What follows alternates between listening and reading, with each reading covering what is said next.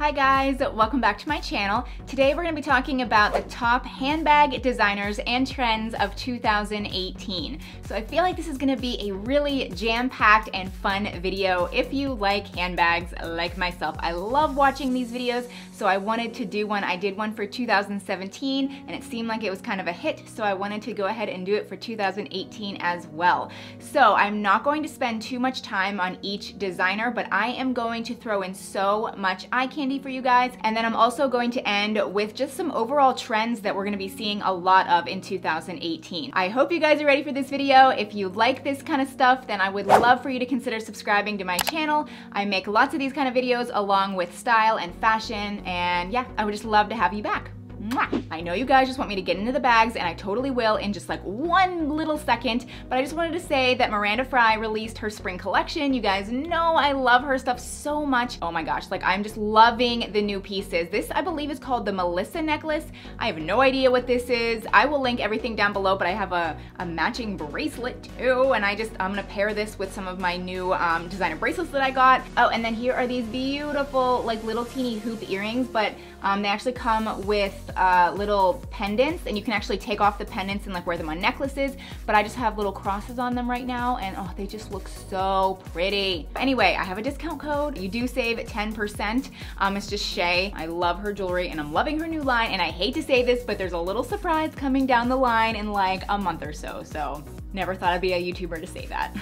let's get into this video and I'm going to start off with the very first designer and again I led with this one the last time. I'm going to lead with it again. They're not disappointing. They keep coming out with designs that are fantastic and you can probably guess what I'm gonna say and it is drumroll please Gucci. They are leading the way with trends and they're just not going away. So they kind of started the trend with the belt bags. That is blowing up. I mean, so many designer houses now are coming out with their own designs of the belt bags. The Marmont bags aren't going away either. You know, the big GG Marmont bags. I held back on getting those bags for so long because I was like, it's just a trend. It's just, I'm just gonna go out next year. I'm not gonna like it. I'm gonna regret it. And no, it is still here and strong and I have been loving it and so has everybody else. Another trend that I really see taking off, and again, I do think it is because of Gucci, and that would be the drawstring backpacks. And I honestly kind of, I don't know this, this is purely my kind of opinion, but I feel like that kind of came about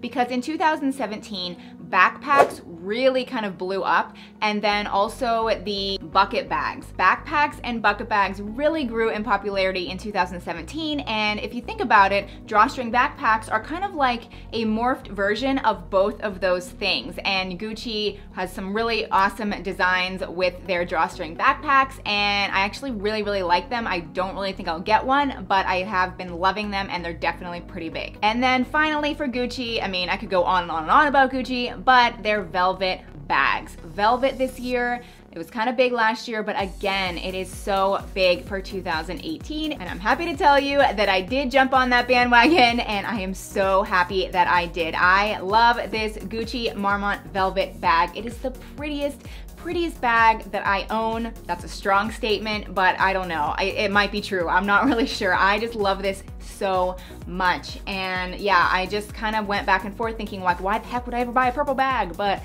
this is probably one of the best purchases I have made. Anyway, yeah, let's just move on from the velvet bag. I know I've talked about this a lot. All right, so like I said, I'm gonna be pretty quick with each designer because I have a lot to cover. The next designer that I wanna talk about is Loewe.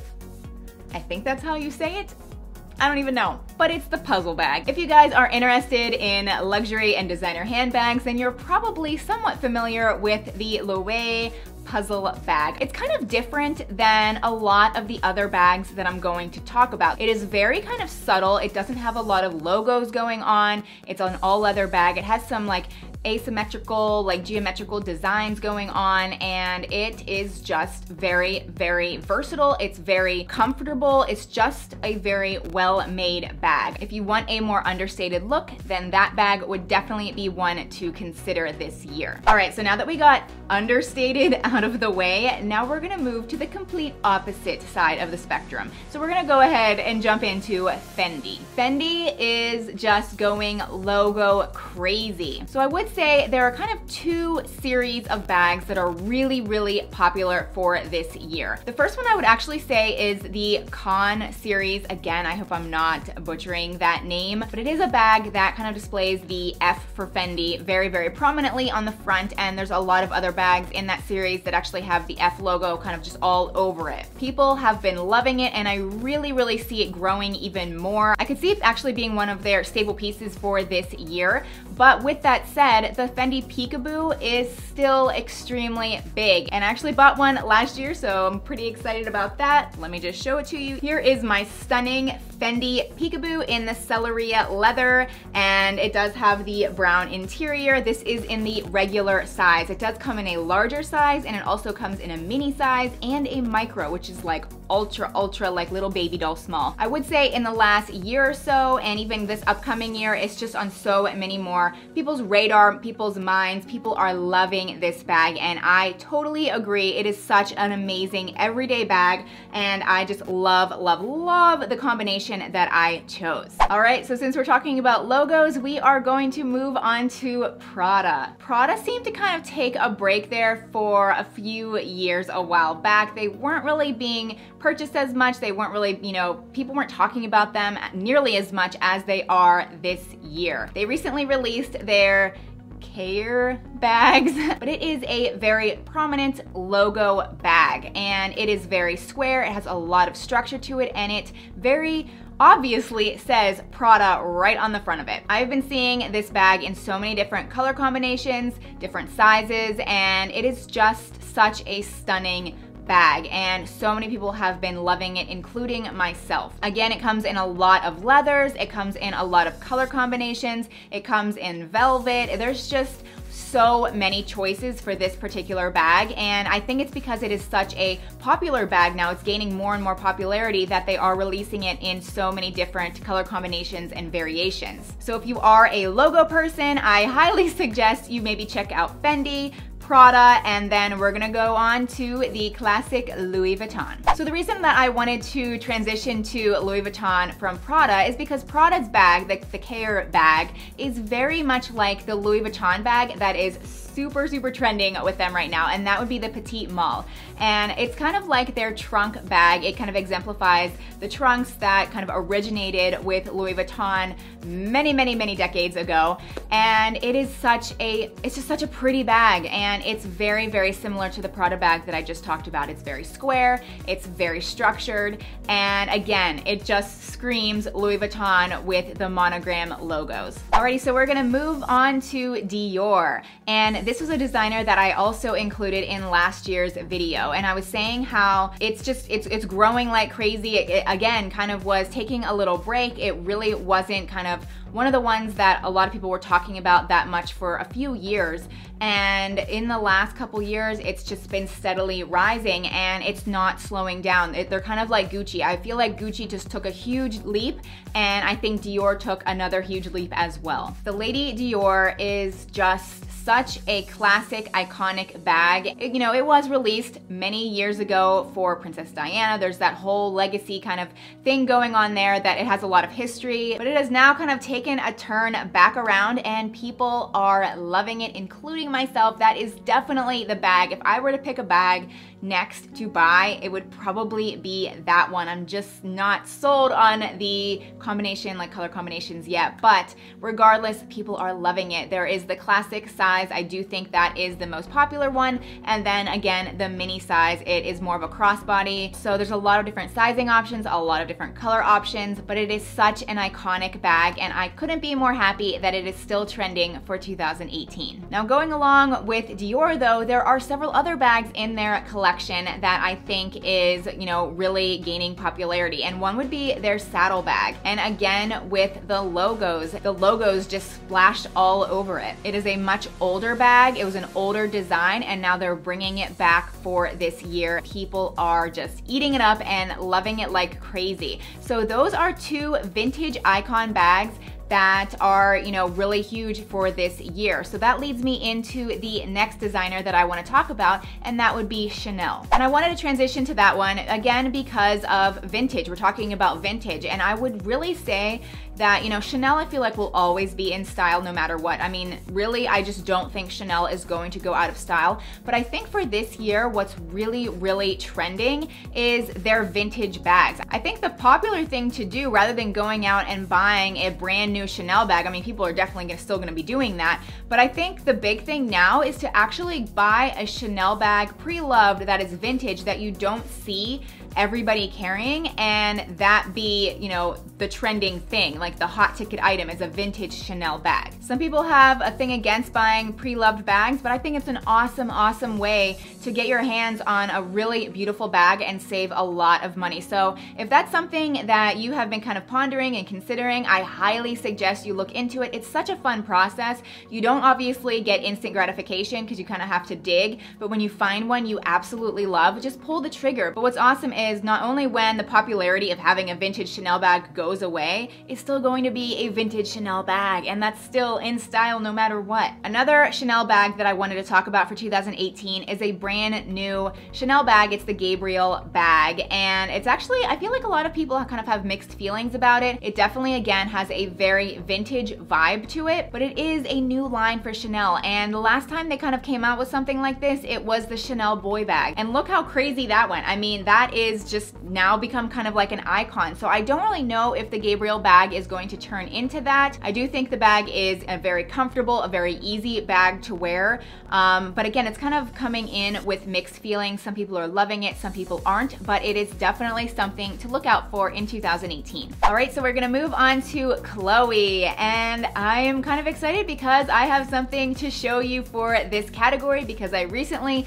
got a bag. It was a total shocker and a total surprise, but it was the Chloe Nile bag. Let me just show it to you. Saddle bags in general are pretty darn trendy for 2018, but this one in particular is just so beautiful and I am so pleased with it and I love every time I wear it. I haven't even worn it that much just because I do think it's more of a spring slash summer bag and it is still winter here. Um, but again, I'm so excited to wear this in 2018. I do think it will sustain its popularity into 2019. I don't know long term how you know well it's gonna go, but it is definitely a trending and popular bag and I absolutely love it. Going along with saddlebags though, I also want to mention round or circular bags. That is just just huge right now and I'm seeing so many designers and even like more affordable options out there. I mean, it's just crazy. I'm not really sure if Chloe kind of led the way with this, but they do have a round or circular bag. It's the Chloe Pixie bag and just the shape and kind of overall aesthetic of this bag is just blowing up on social media. I'm just seeing this kind of a bag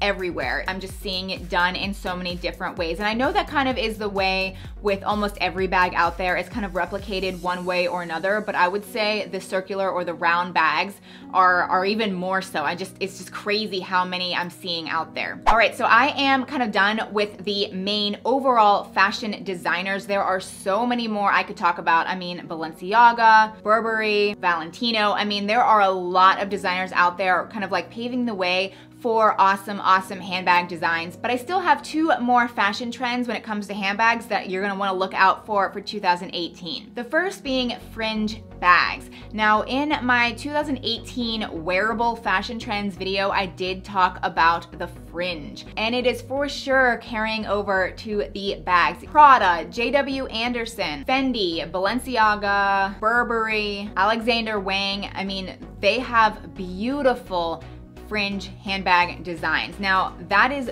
very, very trendy. I feel like that is a trend that it could be awesome this year, but next year it could be a total flop. I, again, I'm no expert. I don't know. I can't predict the future, but even though I love this trend, this is probably a trend I'm not going to buy. If I were to buy a bag like this, I would probably go a more affordable option just because I don't see it being super in style long term, even though the fringe is definitely something that continually comes back just like a lot of trends, it just has this reoccurring thing. It comes back in and out all the time. And then finally, the last huge trend that I wanna talk about is one that people either love it or they despise it. And what it is, is the clear bag or the transparent bag or the plexi bag, whatever you wanna call it. Basically, it's a bag that you can totally see through it. It's usually made of plastic and all of your belongings are pretty much there for everyone to see. There's a Valentino bag out there. It's kind of like a rock stud bag, but it is very clear. I believe it is called their Valentino rock stud plexi bag. It is a very beautiful bag, believe it or not. Like I really do like it. I, I won't buy it, but it is definitely showing that clear, transparent trend. Chanel has a brand new spring and summer collection. If you even just go onto their website and start scrolling through all of their brand new spring and summer